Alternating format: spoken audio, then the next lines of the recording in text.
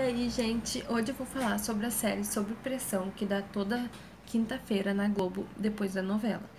E eu quero ressaltar que eu fiquei muito feliz por ter bastante alcance os vídeos que eu fiz sobre as séries brasileiras, que infelizmente é. Uh, assim, tem muitas que são muito legais, que vale a pena a pessoa ver, mas não tem a procura, não tem grande audiência. E sob pressão eles estavam querendo cancelar por causa da audiência, só que é uma série muito boa que mostra o dia a dia dos médicos dos prontos socorros, a fragilidade, a humanidade deles, a falta de verba, como é que eles têm que se virar. Então a trama é mais assim se o protagonista do negócio ali é os pacientes que chegam, que cada episódio é um, que tem uma história bem assim envolvente, polêmica, triste.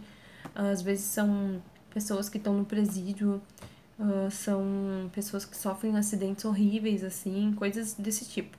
E os antagonistas ali no negócio são um casal de médicos, que ele é diretor do hospital e ela trabalha ali como médica, só que eles resolvem as coisas e tem que ficar resolvendo e eles querem ter um filho, mas não querem. E daí agora acaba acontecendo outras coisas que acabou que ela ficou grávida, mas ela não queria. Então começa a aparecer pacientes para ela, criança, mulheres grávidas, e fica aquela tensão, além do acidente, tem aquela tensão. Então é uma coisa muito assim boa de ver para a pessoa se conscientizar de como que é o SUS, como que é esses prontos socorros, para também ver assim qual é a realidade, porque muita gente não tem noção da realidade, vive no mundo da fantasia quanto a essas coisas, pensa, ah, SUS é maravilhoso. Ai, pronto socorro, tu sofre acidente, tu vai ser atendido ali no instante. E não é muito assim, né? A gente sabe que tudo é lotado, tudo demora muito para pegar encaminhamento, blá, blá blá blá blá no SUS. Uma pessoa, acho que em 20 ou 30 consegue, tipo, um médico rápido ali e também numa urgência.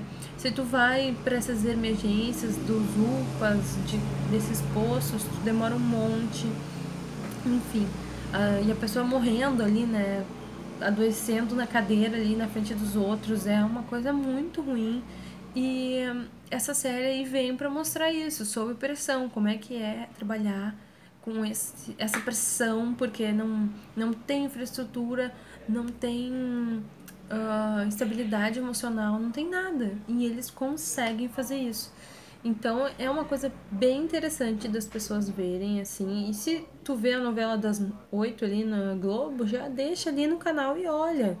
Não tem erro. É como a do assédio, é como as outras que eu fiz. Então, eu espero que essa audiência melhore para que ela não seja cancelada, né? Porque é uma série realmente assim muito boa.